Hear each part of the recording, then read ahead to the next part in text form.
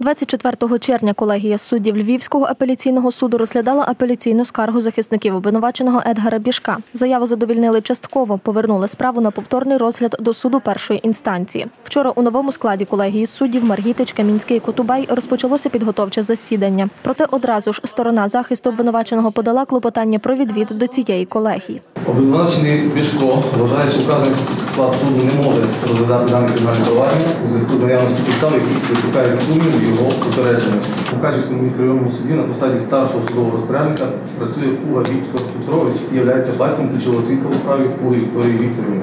За таких обставин є обґрунтований ризик, що складу суду як безпосередньо від старшого судового розпорядника Пуги, так і інших суддів Мукачівського міськрайонного суду, помічників е, суду Мукачівського міськрайонного суду та працівників апарату Мукачівського міськрайонного суду стало відомо про обставини справи, докази та інші факти ще до початку розгляду справи по суті, що Порадившись, колегія суддів постановила у задоволенні заяви захисника Вайдич відмовити. Таким чином засідання продовжили. Перейшли до питання призначення справи до судового розгляду. Прошу призначити до судових даних мене до судового засідання у відкритому судовому засіданні колегіально. колегіально.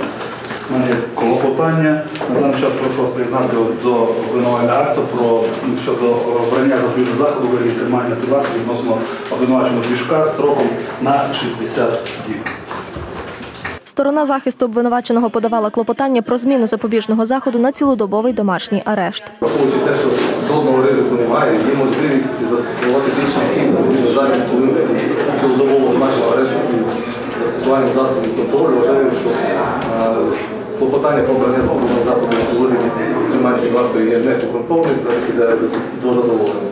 Тому прошу обрати інший, більш м'який, як це передбачено новами КПК, у цілодобового домашнього арешту та із застосуванням е, засобів електронного контролю. Суд пішов до нарадчої кімнати і постановив. Кримінальне провадження стосовно Бішка Едгарда Едгара е, Андрійовича, обвинуваченого в вчиненні кримінального правопорушення, передбаченого пунктом 4 частини 2 статті 115 Кримінального кодексу України, призначити до судового розгляду колегіально судом в складі трьох суддів, відкритому судовому засіданні в залі судового засідання Мукачівського міськрайонного суду Судовий розгляд справи відбудеться 24 липня о 14.30.